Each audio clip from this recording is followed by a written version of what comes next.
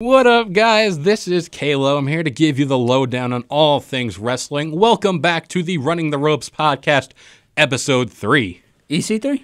EC3. Trouble, trouble, trouble, trouble. Trouble, trouble, trouble, trouble. We are going to bring you some interesting news developments here on Running the Ropes podcast. We're kind of late on it, but, you know, better late than never. Well, we're we're a little, like a little, like about four or five days late. Well, we won't talk about it. we, we won't talk about that. But we're going to be talking about 205 Live and what has happened over the past few weeks in this division. We have had a change in wrestling and we have had a change in character development as of late. And that is all owed to Vince McMahon giving up the showrunner rights to Triple H. And now Triple H has full control of the show. Well, now a lot of people are saying that because Vince McMahon, the only reason why he gave up because he's focused more on XFL mm-hmm. the- that's coming out in 2019 to run, so he doesn't have to run it. So now Vince McMahon was only interested in the character development. Triple H said that it's gonna be more of the action, like with the Cruiserweight Classic.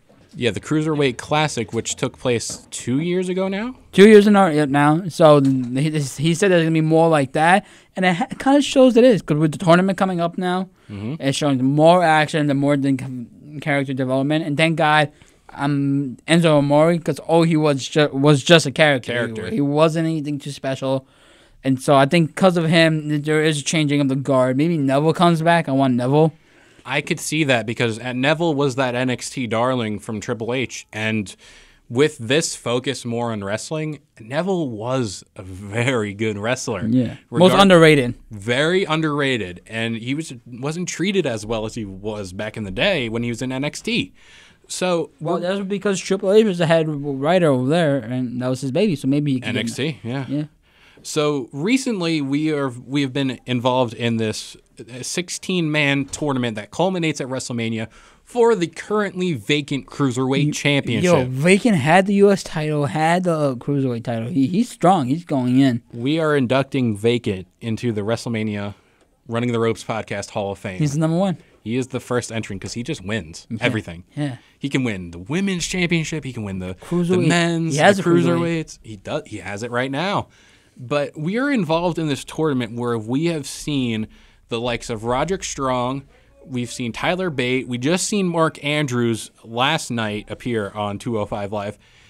We have been getting a lot of surprises, which is great. That's what keeps you coming back. Like I said on episode two, I want to watch 205 Live now because there are people who are debuting in this tournament that I want to see more of, like Roderick Strong. Love Roderick Strong. Mark Andrews from the UK division. I love the UK division. Tyler Bate was on the first episode of this tournament. So they keep me, like, I want to watch this. Yeah, What no. are your thoughts 100%. on that? Yo, like I said, I wa- my first episode of the NXT, I'm not sorry, not NXT Tour Five was when Drew Maverick, Drake Maverick. Drake Maverick, came up because they said they said that the general manager was gonna be announced, and you know, having a tournament and you just go nuts about it. I'm excited about it. All these surprises. I'm not too excited about um, having the NXT call ups and putting them in there.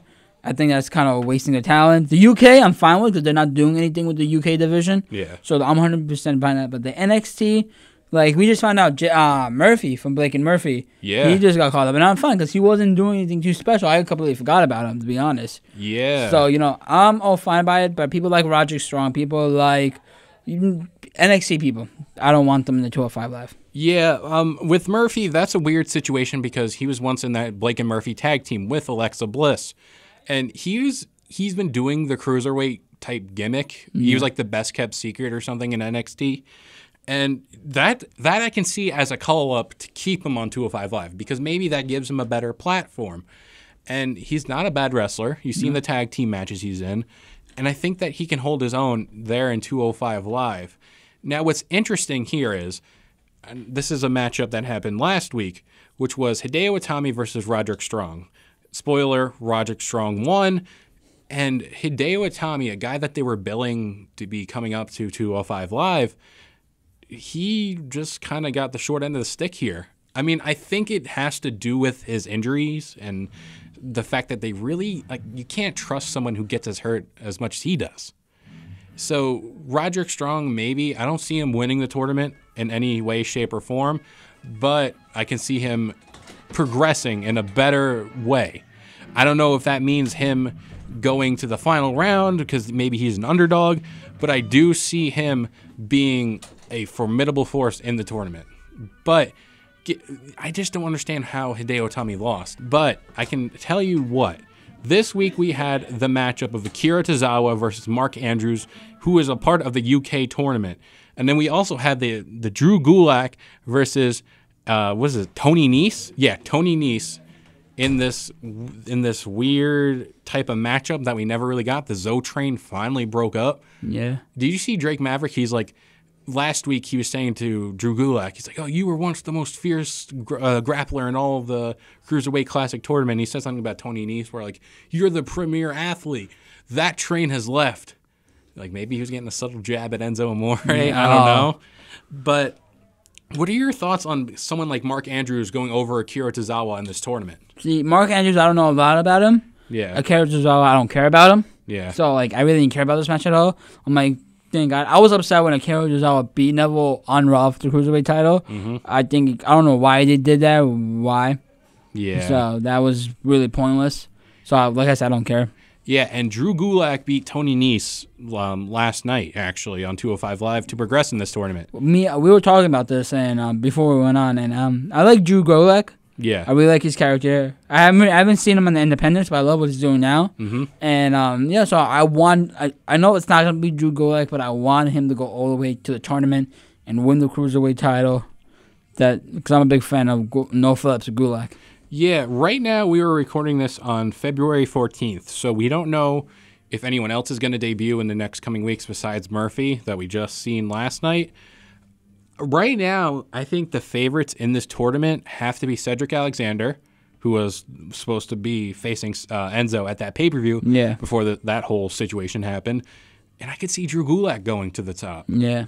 Those are those would be my two picks unless somebody debuts at like blows the roof off the place. Like I don't know, unless Neville comes back maybe. Oh, I want Neville. Neville versus Drew Gulak. They were teasing up that Gulak turning it on, turning on Neville. Yeah, I can definitely see that happening unless maybe Pete Dunne Ooh. because they're having all these cruiserweights or From the these- UK. from the UK, the bruiserweight. He was Yeah. on 205 Live that one time on Raw. Yeah. So if you want to get more eyes on the program, people like Pete Dunne, throw him into this tournament. You- You're not doing anything with them. You just gave them a title. That's it, which I'm kind of upset about. They're not doing anything with the UK division. I love the UK division. That we can do a podcast on that. Let us know if you guys want to see a UK based podcast about the WWE's division there. So 205 Live now is in the hands of Triple H.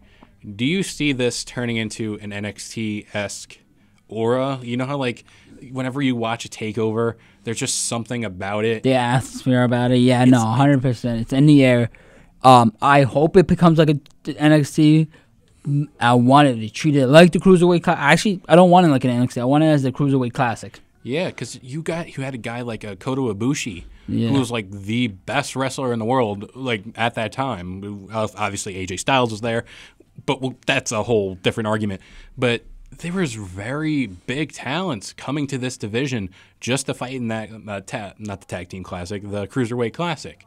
And you got a guy like TJP who won, fine, but you had a lot of serious names from the indies come to this division. Yeah. And if you get back to that, maybe WWE has something here, the thing that they wanted originally. What the Cruiserweight should have been Yes. when they came back. Exactly. And then when they got back, everybody thought it was going to be like the Cruiserweight Classic. Nope, it was not at all. Multi man tag team matches, battle royales, all that. I hope at this Raiders WrestleMania, the Cruiserweight match, who- whoever makes it to the final, is the ladder match. yeah, I can definitely see that. Uh, now the only And then you have Neville come in, if he doesn't d- return in the tournament, come in, push the ladder off, and take the title from there. do, they should do like the Hardy spot, like Yeah. they did last year, where it's like, oh, we got one more contestant. That would be amazing. That would get the whole, because no one's hearing from Neville. Neville's still employed with the WWE. You have him just come out like that, the whole crowd would lose it. Yeah, because if I don't see him in this tournament, like in the next coming weeks, because we got until WrestleMania, Yeah. I can definitely see that happening. I wouldn't, I wouldn't put it past them because technically he should be owed something. Yeah. For cause dropping the title Enzo was just. And he and he put he did so much for the cruiserweight class, cruiserweight 205. Yeah, he did a lot for 205 Live, and Mm-hmm. he was arguably one of the best wrestlers on Raw and SmackDown. Like he can hang with AJ Styles. Like Finn Balor, he can hang out with Seth. he can do everything. And if if he doesn't debut, or if he doesn't come back and do, like does something major, like I'm talking on Raw, maybe go on SmackDown, win a title, or win this whole tag or not the tag tournament. Why do I keep calling it the tag tournament? if he doesn't debut again in this cruiserweight tag tour, tag tournament. I think you just want a tag I'm- team tournament. I'm turning into Teddy Long, and I'm Holla, holla, you're facing the Undertaker, player. I'm facing the Undertaker in a tag team match. But this cruiserweight uh, about to tag team tournament, this cruiserweight tournament. So yeah, this cruiserweight tournament is going to be ending at WrestleMania. We're going to see a new cruiserweight champion. No matter what. no matter what. It has to end, unless Rockstar Spud wants to make it go on longer. That about does it for this episode, episode three of the Running the Ropes podcast. I hope you all enjoyed. And if there's any topics you want us to discuss, whether it be New Japan, whether it be WWE, whether it be ROH, let us know. Or wait, or TNA, aka Impact Wrestling, aka GFW, aka aka TNA. What, what are they called now? Uh, who knows? You let us know. What do you think TNA's next name should be? And let us know if there are any wrestlers you want us to talk about. Give us our top 10 list, maybe, and pretty Or much we- anything else. Are we We- becoming SmackDown top ten? top 10. Top ten. The perfect 10. Tye Dillinger. That- He's numbers. He's all dude, from one to ten. He's top, he's in it. He's always 10. Yeah. But I hope you guys enjoyed. Please like and subscribe and let us know. Who do you think is going to be winning this tournament? James Ellsworth. You, could be. Never know. All right, guys, running the ropes. That is it. See you next time.